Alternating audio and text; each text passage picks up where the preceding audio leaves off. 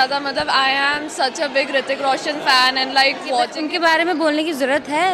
मतलब सीरियसली आप मुझसे पूछ और विजय सत्तुपति को देखा है यहाँ पे ऋतिक और सैफ को देख लो कुछ अलग देखने मिलेगा ये। सर विक्रम वेदा मूवी देखी आपने? आपको कैसी लगी? जट सर मैं देख कर ही आ रहा हूँ। फ़िल्म बहुत ही अच्छी लगी बहुत ही शानदार एक नंबर मूवी लगी। फ़िल्म तो भले लोग बोल रहे हैं कि रिमेक है फ़िल्म भले ही कहानी का पुरानी है लेकिन कॉन्सेप्ट इसका थोड़ा नया है।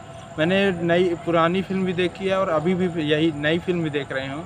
तो मतलब दोनों का नाम भी सेम है और जो एटीट्यूड है वो दोनों का सेम है। आप अगर दोनों एक्टर को अगर कंपेयर करने में आते हैं, विजय सेतुपति और आर माधवन को अगर जैसे अभी सैफ अली खान और ऋतिक रोशन से कंपेयर करते हैं, उसमें तो अपन फंस सकते हैं, लेकिन अगर आप ये ऐसा, ऐसे फ़िल्म देख, देखने जा रहे हैं कि बॉलीवुड की फ़िल्म आई है तो अगर आप यह फ़िल्म देखने जा फ़िल्म बहुत ही अच्छी है, बहुत ही शानदार है। तो लगी अच्छा मूवी में कुछ चेंजेस है नॉर्मली कि वही same to same copy paste किया गया है?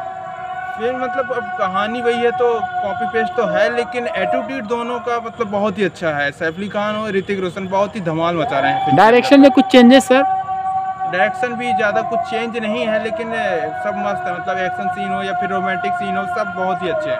लगता है सर ये फ़िल्म सुपर हिट जाएगी हिट जाएगी या फ्लॉप जाएगी? फ़िल्म सुपर हिट का कुछ कह नहीं सकते हैं क्योंकि ये कहानी तो रिमेक है तो अब सुपर सुपर हिट की तो कोई उम्मीद नहीं कर सकते हैं लेकिन हाँ एवरेज जा सकती है ज़्यादा कुछ तो नहीं कह सकते हैं नहीं क्योंकि मूवी का बजट भी समथिंग 180 करोड़ है।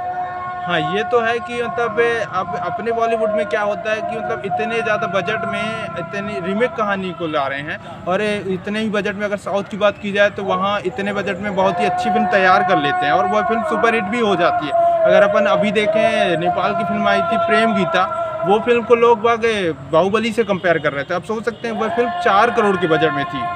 अच्छा सर इस फ़िल्म को पाँच में से कितने स्टार देना चाहेंगे? मैं इस फ़िल्म को पाँच में मैं इस फ़िल्म को पाँच में से तीन स्टार देना चाहूँगा। पाँच में से तीन star yes okay sir thank you